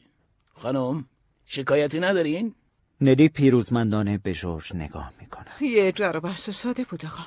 خب شانس آوردی خانم شکایتی نداره. زود را بیفت واکسن بعدا میرم. اصلا همین امشب میرم قول میدم. ببریدش. سربازها جورج را می گیرند جورج تقلا می کند من شهرک نشین بودم. شما حق نداریم با من اینجوری رفتار کنین. وقتی بین آبی پوشا میلولی چه فرقی می‌کنه قبلا کجا بودی؟ ببرینش. جورج را به زور می برند از دور فریاد می کشد برات پول میارم. قول میدم. برات پول جور می‌کنم. همینجا بمون. خواهش می‌کنم نلی نلی در بیمارستان صف بزرگی از کارگران آبی پوش است. با سه اتاق. اتاق اول اتاق دکتر تامس است. اسامی را یادداشت می کند اتاق دوم کسی واکسن می‌زند. در اتاق سوم کارت واکسن می‌دهند.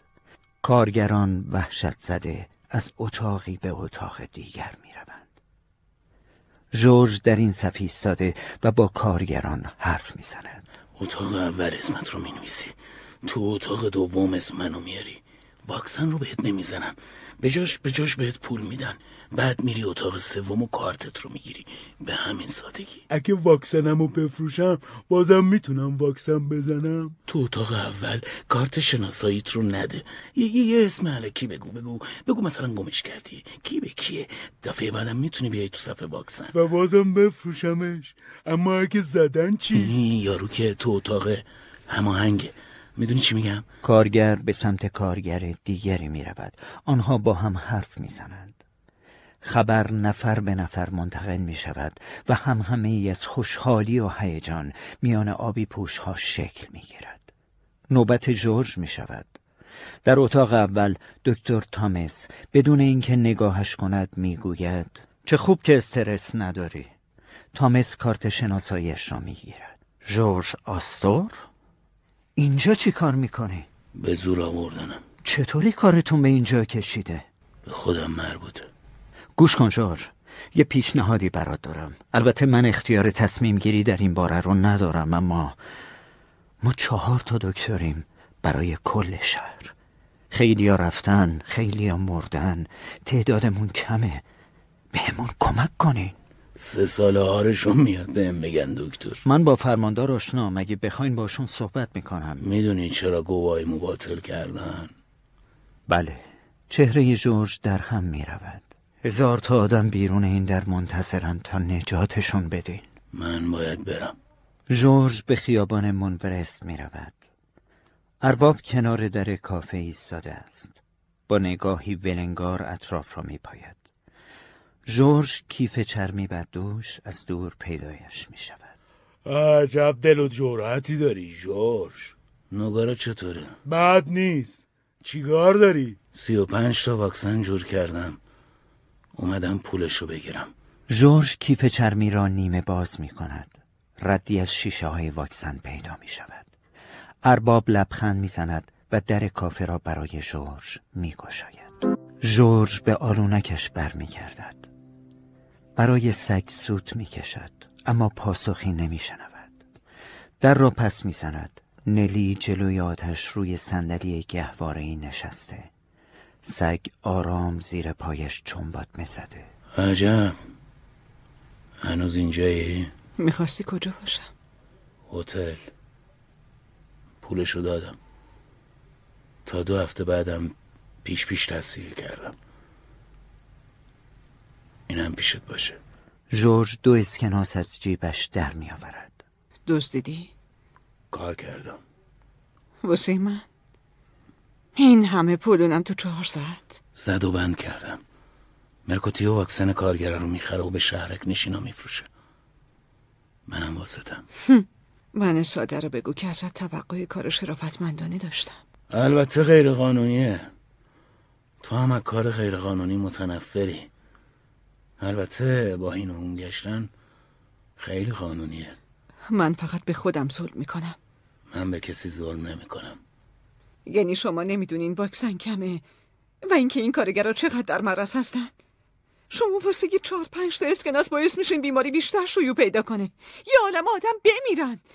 اونم در ازای این پول کم. خودشون می‌خوان. شکم گشت و این حرفا خودشون خواستن. اگه نمیخوایی پسش بده. خودم خرجش می‌کنم. نلی اسکناس ها را مچاله و به سمت جورج پرت می‌کند. برو همشو تو کافه خرج کن.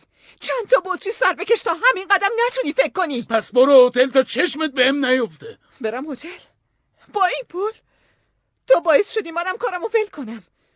واسه همین همین جا میمونم. به خودت مربوطه. اینجا مال تو. من بیرون میخوابم. صبح در کافه منورست نظافتچی مشغول شستن زمین باطفی است؟ سندری ها سر و ته روی میز هاست. مرکوتیو باند به سر و خوابالود مشغول خوردن قهوه است. نوگارو دور چشمش کبود است و مثل همیشه مشغول چیدن مهره ها روی صفحه شطرنج. در کافه باز است. در روشنایی شدید روز سایه سیاهی وارد می شود نوگارو چشمهایش را تنگ می کند جورج است. خودش را به میز نوگارو می رساند و پولها را روی میز پرت می کند پولت؟ من دیگه تو این بازی نیستم. فقط یه کمیشو خرج کردم. بابت اتاق نلی. که خب دیگه نمیره اونجا. می‌تونی باقیشو پس بگیری. خشم در صورت نگارا میدبد اتفاقا همین دیشب حد زدیم ممکنه پشیمون بشی. واسه همین خودمون مستقیم با آبی پوشا قرار گذاشتیم. تو معامله هرچی واسط کمتر بهتر. جورج به ارباب رو می‌کند. گوش کن مرکوتیو. من خیلی فکر کردم تو آدم تر از نوگارویی. پس گوش کن ببین چی میگم. واکسن کمه. شاید کارگر خودشون نفهمن اما کار ما یه قتل عامه. می‌فهمی؟ حالا بی پوشا انقدر مهم شدن؟ من نمی‌ذارم این کارو بکنین. ما با هم نون و نمک خوردیم جوش خرابش نکن. شاید من دست رود بلند نکنم اما شریکای ما لات بازیاتو تحمل نمی‌کنن. اگه بخوان حالت رو بگیرن من یکی که جلوشون در نمیام. هر کاری دلت می‌خواد بکن. جورج می‌رود. یکی رو بفرست تعقیبش کنه مرکاتیا. ببینیم داره چی کار می‌کنه.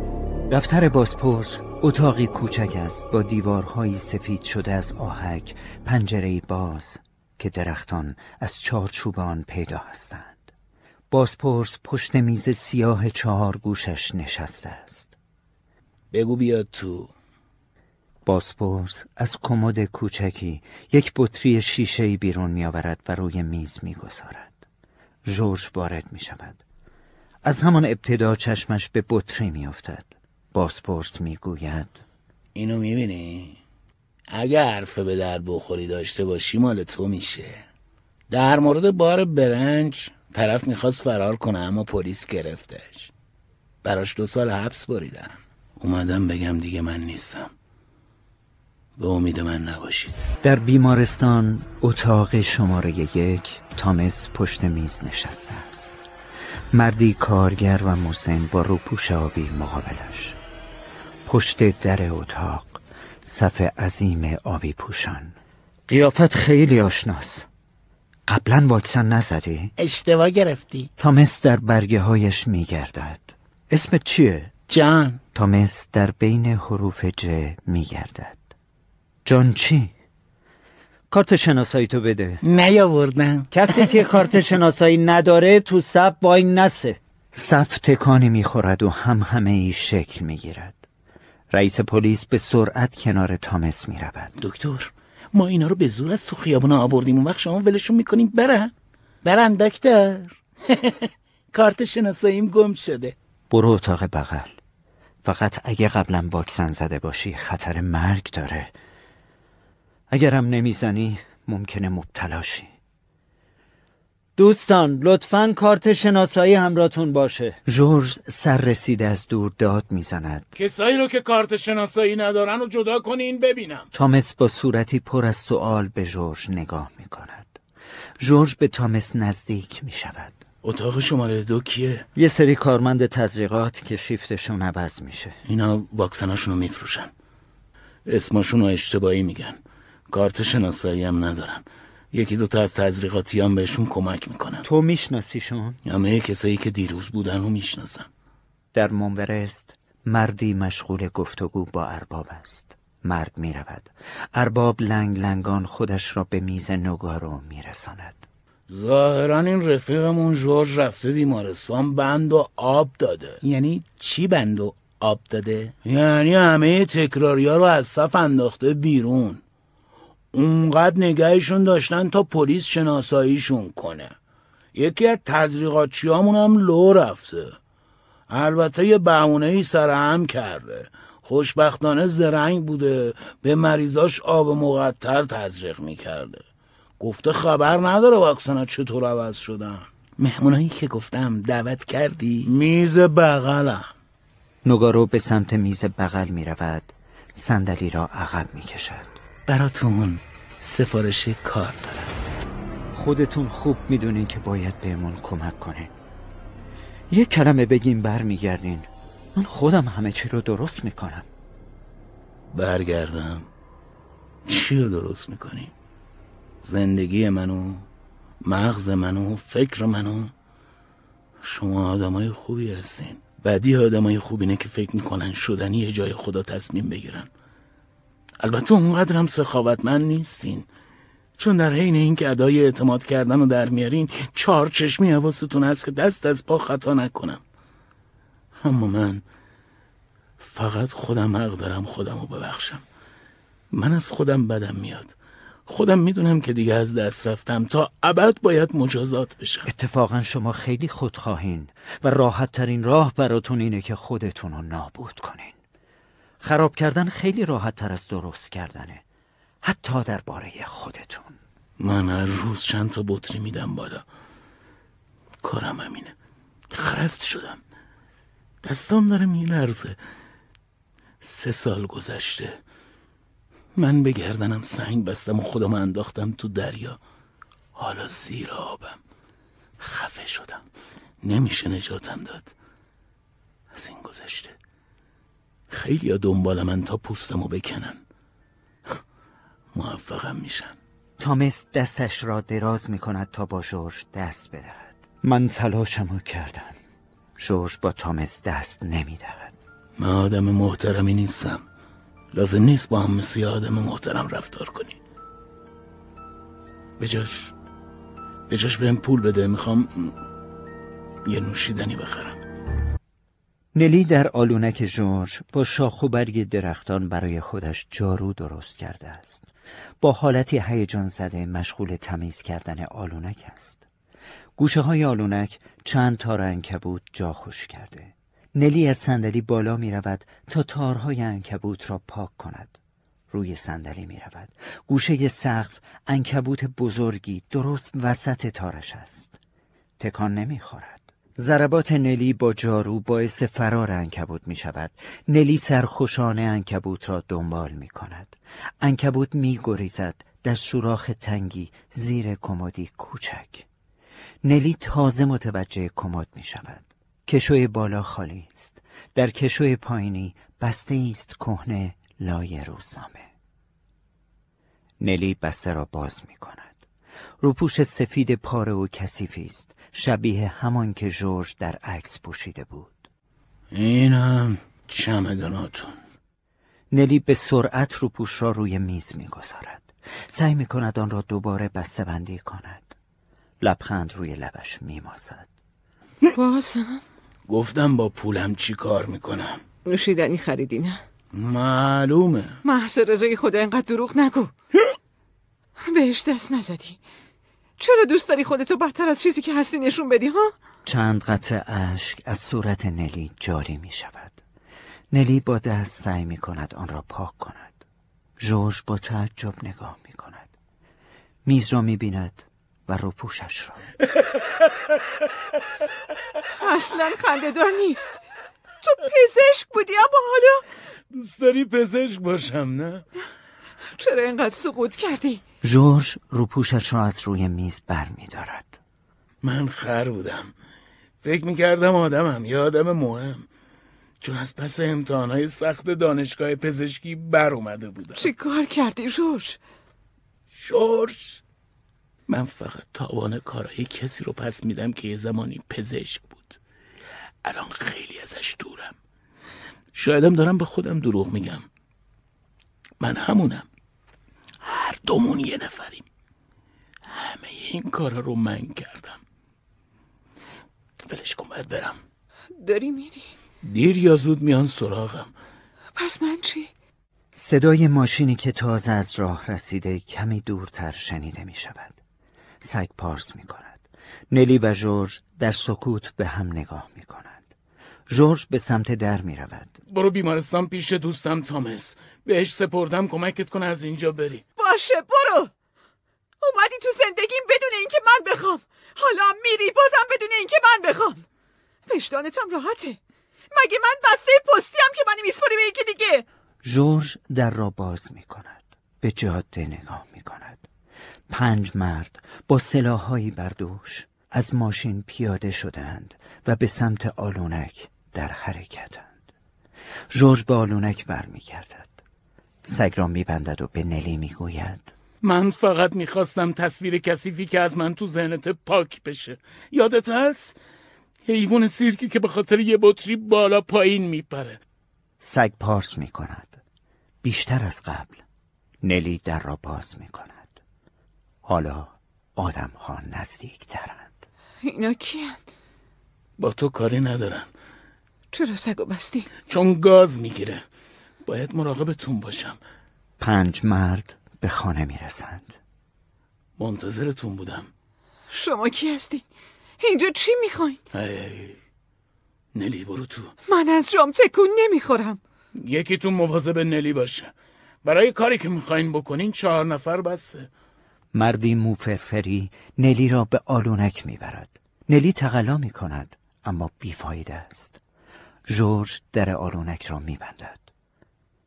رئیس آدم ها مشتی به صورت جورج می‌زند. می‌خواستی ارباب رو لو بدی؟ جورج زمین می‌خورد اما دفاعی نمی کند هر چهار نفر او را می‌زنند. در آلونک نلی هنوز با مرد موفرفری کلنجار می رود. سگ پارس می کند و با قدرت تمام زنجیرش را می کشد. نلی می خواهد خودش را به در برساند اما مرد موفرفری نمی گذارد. بعد از کمی تقلا نلی گوشه ای می نشیند.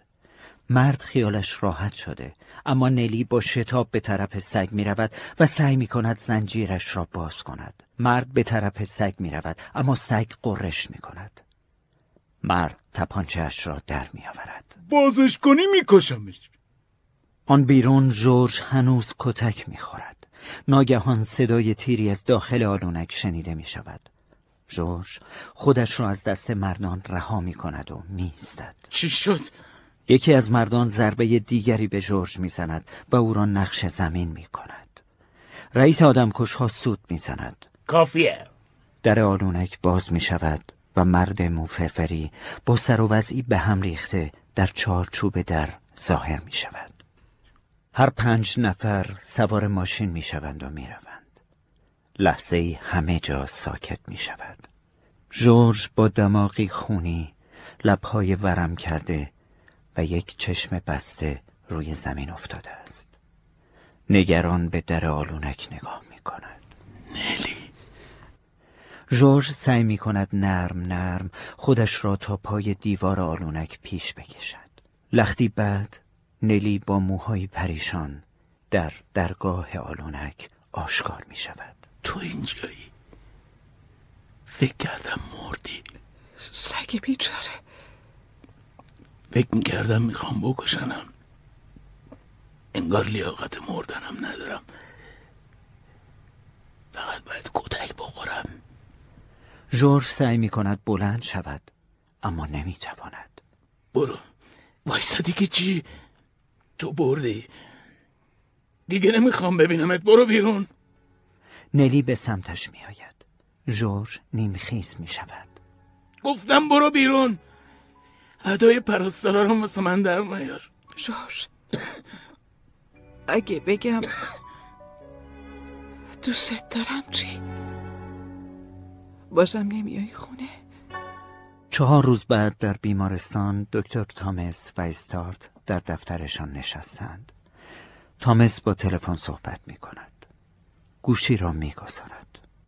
استارت یه دختر بچه است. سیزده سالشه. بازم ویروس؟ اولین مورد تو شهرک هممون میمیریم می‌دونم حالت بده استارت هممون حالمون بده تو آی سی او جا نداریم. یه تخت خالی هم نیست. برو بالا سرش. من چرا هشت ساعت نخوابیدم؟ می‌دونم. نوبت اسلیپه. ولی خبری ازش نیست. نمی‌دونم کجاست. استارت خیره به تامس نگاه می‌کند.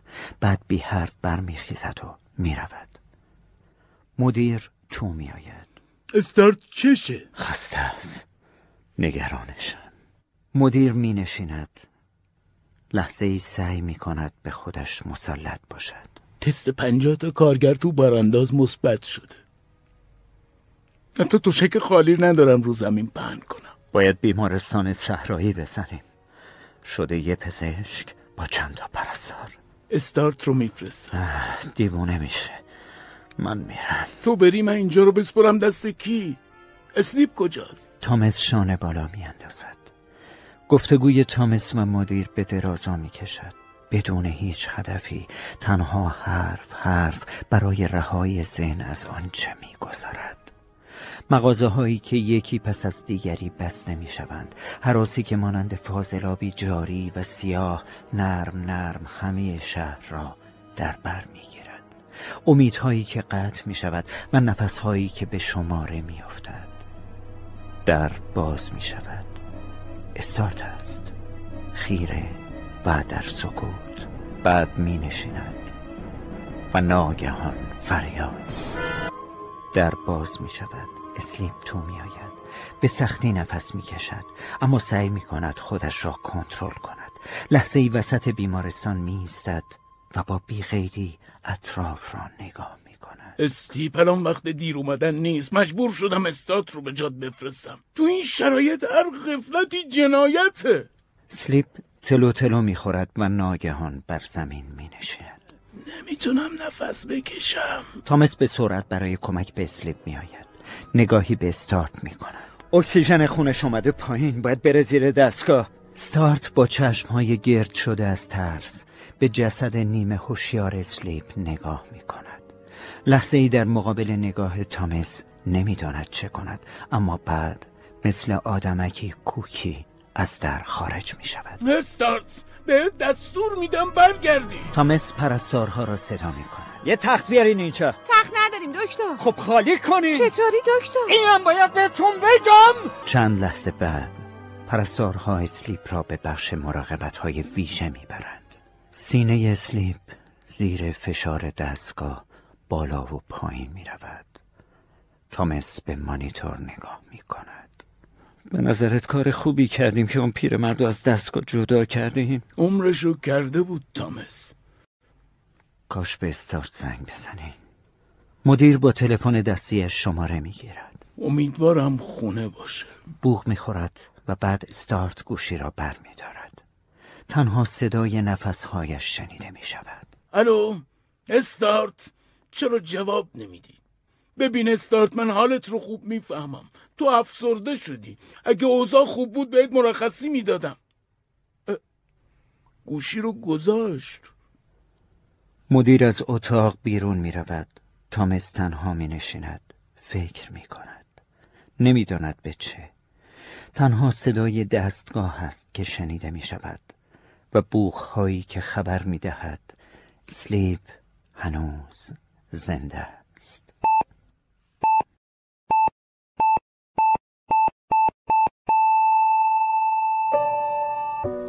در آلونک نیلی روی زمین نشسته. جورج دراز به دراز روی حسیر خوابیده است. صورتش بان پیچ شده لبهایش باد کرده و کنار لبها و گونه هایش پوشیده است چسب است. از لای چشم های نیمه بازش به نلی نگاه می کند نیم خیز می شود نلی واسه چی موندی؟ پری روز بهت گفتم. جورج دست نلی را می گیرد من یه آشغالم. وقتت رو تلف من نکن. تو فقط پوستت کنده شده. اونم به خاطر غرور. چون صفر و صدی هستی. تو اوج یا عمق. دلت می‌خواد در برابر همه خودتو تحقیر کنی. اما من تحقیرت نمی کنم به جوش برات ارزش قائلم. فکر می‌کنی من برات ارزش قائلم؟ تو کی هستی که غرور از دست رفتم و به من برگردونی؟ تو حق نداری منو محکوم کنی شورش منم می‌تونستم مثل تو خودم رو با سر غرق کنم. اما فقط اونقدری آلوده شدم که زنده بمونم. درخشان نیست. اما آسونم نیست. عجب زوج غم یکی مرهم زخمه یکی دیگه. دوتا بازنده که مدام مجیز همو میگن. چال به هم زن. در می‌زنند. نلی و جورج هر دو جا می‌خورند. برگشتن؟ در باز می‌شود. تامس است. لحظه ای هر سه با حیرت به هم نگاه می‌کنند. جورج می‌گوید. حسابی ادبم کردن. به خاطر ماجرای واکسنا؟ شاید. باید به ما کمک کنی. قبلا جواب تو دادم. جورج حالا فقط ما دوتا پزشکیم و کل شهر. همه یا مردن یا رفتن. اونایی هم که رفتن با مرده ها هیچ فرقی ندارن. می‌تونی بشینی و فقط نگاه کنی؟ من هیچ وقت نگاه دکترایی که تو بیمارستان جونشون از دست دادن یادم نمیره جورج. به یاد دکتر لیون لیانگ. دکتر اشک از چشمان تامس جاری می شود خیره به نقطه جورج و نلی آشکارا غمگینند. متاسفم تامس. نمی‌خواد بیای بیمارستان. محله باراندازا تحت فرمان خودته. من نمی‌تونم. نیم ساعت دیگه یه ماشین میاد عقبت. فکراتو بکن تامس می‌رود و در جاده محو می‌شود از دور ماشین استارت پیداست که می‌خواهد از شهر خارج شود ماشین دود می‌کند استارت با خشم از ماشین پیاده می شود و کاپوت را بالا می زند. دود زبانه می کشد. ستارت به اطراف نگاه می کند. آلونک جورج در نقطه انتهایی شهر است و تنها محل قابل مراجعه. جورج بیرون در آلونک نشسته است. آب می‌خوام آقا رادیاتورم خوش شده. جورج از توی آلونک بطری آب میآورد. لنگ لنگان. شما پزشکین؟ استارت ناخداگاه به روپوش پزشکیش نگاه می کند که آن را در نیاورده داری فرار می‌کنی نه؟ شما کی هستین؟ کی بهتون گفته من دارم فرار می‌کنم؟ هیچ کس من این این قیافه این تیکای عصبی این صورت ترسیده رو خوب یادمه. انگار خودم رو می‌بینم. سه سال پیش خودم. سارت می‌خواهد بطری را بگیرد. جورج بطری را عقب می کشد بهت نمیگم که هزار نفر منتظر تو تا زندگیشون رو نجات بدی. حتما بهش فکر کردی. دارم درباره خودت حرف می‌زنم و این جهنمی که داری به هم آب میدی یا نه؟ جورج بطری را به استارت می‌دهد و به آلونک می‌رود. استارت با اخمی کشیده مشغول ماشین می شود جورج روپوشش را می آورد و مقابل استارت می ایستد فرستادنم یه شهری برای ابولا. هفته دکتر بودیم دوتاشون مردن. شیش شب خوابم نبرد. یه روز صبح ماشینم رو برداشتم و رفتم جایی که دست هیچ کس بهم نرسه. حالا منو ببین. منو ببین. از سر آدم نمیره. نتونستم فراموشش کنم. کاش میفهمیدی. استارت سرش را از روی کاپوت بلند می کند در میان دود و بخار آب. سلیپ مرده.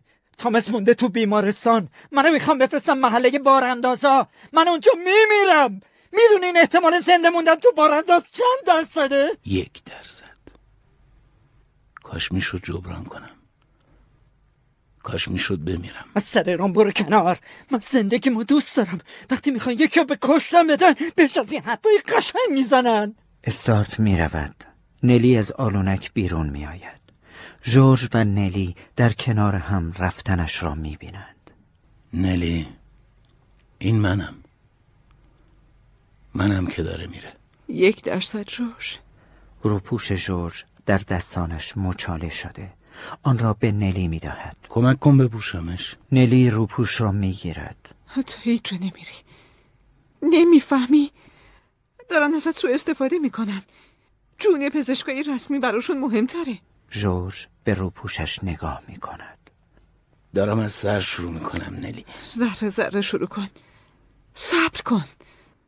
ترجیح میدی یه هفته قهرمان باشی و بعد بمیری نه؟ چون راحت تره فقط همین. نلی به سمت جورج می آید اگه دوستم داشتی؟ جورج احساساتی می شود عاشقانه به نلی نگاه می کند اما بعد به خودش مسلط می شود نگاهش را از نلی می دوستد. کی گفته من دوست دارم؟ نلی روپوشش را به زمین پرت می کند من این خر اینجا چی کار می کنم نلی به سمت جاده می رود. جورج به سختی این رو پوشش را از زمین بر می دارد. نلی صبر کن. نلی! نلی در جاده با نگاهی خیره خسته با موهای دست خوش باد پیش می رود. آمبولانسی از دور می رسد و از کنار نلی می گذرد. جلوی آلونک جورج می ایستد و بوغ می زند. جورج تلو تلو خوران رو پوش پاره بر تن باند بر صورت با ظاهری مانند دیوانه ها سوار بر ماشین می شود. آمبولانس از کنار نلی می گذرد. تصویر او در آینه ماشین کوچک و کوچکتر می شود. نلی در جاده می رود. در خیابانی دراز و خالی همه جا پنجره ها بسته است کرکره های آهنی پایین کشیده شده نلی به کوچه باریکی میپیچد به بازاری سرپوشیده می‌رسد. اما آنجا هم بساطها خالی است. پارچه ها میوه ها و سبزی ها زمین را پوشاندهاند. خیابان ها و کوچه ها خالی است. انگار زندگی هرگز جریان نداشته است. نلی به خیابان منورست می‌رسد. در کافه باز است. نلی وارد می شود کافه خالی است. سندلی ها روی میز ها هستند. حتی هتل هم بسته است. درها بسته پنجره ها بسته و نلی که تا بی نهایت در می‌زند مرغ های دریایی در آسمانند. در اسکله خبری از کشتی نیست. جر سقیل های بی حرکت مانند شاخه های درختی خشکیدند تنها در سوله بزرگی کارگران آبی پوش در دو ردیف کنار هم دراز کشیدند. وسطشان راهروی باریکی است. محل عبور پرستاران. اما پرستاری نیست. دو سوله دیگر هم هست.